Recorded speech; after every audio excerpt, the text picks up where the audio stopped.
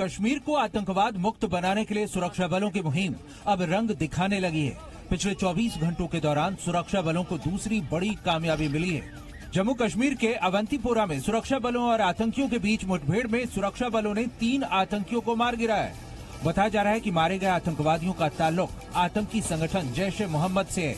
Encounter में ढेर किए गए तीनों आतंकियों में से एक की शिनाख्त त्राल निवासी रईस अहमद डार के तौर पर की गई है। हालाँकि इस एनकाउंटर में सेना का एक जवान और पुलिस के एसपीओ शाहबाज अहमद भी शहीद हो गए। बताया जा रहा है कि यहाँ सुरक्षा बलों को आतंकियों के छिपे होने का इनपुट मिला, जिसके बाद सुबह से सर्च ऑपरेशन चलाया गया। सर्च ऑपरेशन के दौरान आतंकियों ने फायरिंग शुरू कर दी। सुरक्षा बलों ने भी जवाबी फायरिंग की, जिसमें तीन आतंकी ढेर हो गए। इससे पहले सोमवार को भी पुलवामा के वाची गाँव में आतंकियों और सुरक्षा बलों के बीच मुठभेड़ हुई, जिसमें जैश ए मोहम्मद के तीन आतंकी मार गिराए गए।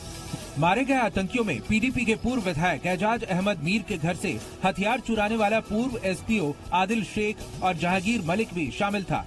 इस अभियान को सेना, सीआरपीएफ और जम्मू कश्मीर पुलिस ने मिलकर अंजाम दिया। Bureau report, Zee media.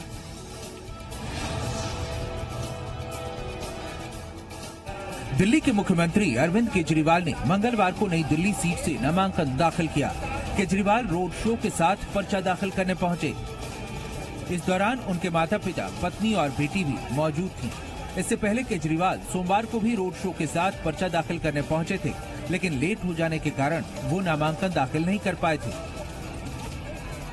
तो इन सारी पार्टियों का एक ही मकसद है कि किस तरह से केजरीवाल को हराया जाए। और मेरा एक ही मकसद है कि किस तरह से भ्रष्टाचार को हराया जाए और दिल्ली को आगे बढ़ाया जाए। दिल्ली के जामनगर हाउस में मुख्यमंत्री अरविंद केजरीवाल के पर्चा दाखिल करने के दौरान हंगामा भी हो गया। केजरीवाल जब करीब एक घंटे की देरी से नामांकन के लिए पहुँचे तो निर्दलीय उम्मीदवारों ने उन्हें सीधे एंट्री देने का विरोध किया। केजरीवाल नई दिल्ली सीट से दो बार जीत दर्ज कर चुके हैं। 2013 में उन्होंने पूर्व मुख्यमंत्री शीला दीक्षित को शिकस्त दी थी। इसके बाद 2015 में भी वो इसी सीट से दोबारा जीते थे। इस बार केजरीवाल को टक्कर देने के लिए बीजेपी और कांग्रेस ने नए चेहरों को मैदान में उतारा है। दिल्ली विधानसभा सीट से केजरीवाल के खिलाफ बीजेपी ने सुनील यादव को टिकट दिया है, जबकि कांग्रेस ने रोमेश सबरवाल को केजरीवाल के मुकाबले के लिए रण में उतारा है। अरविंद केजरीवाल जी के खिलाफ जो दिल्ली में गुस्सा है, नफरत है, उसके खिलाफ एक जुझारू नेता उतारने का हमारी पार्टी का मंशा थी। उस प्रकार से इसके पहले सुनील यादव पूर्वांचल से आते हैं, यादव परिवार से है, इसी क्षेत्र में रहने वाले हैं।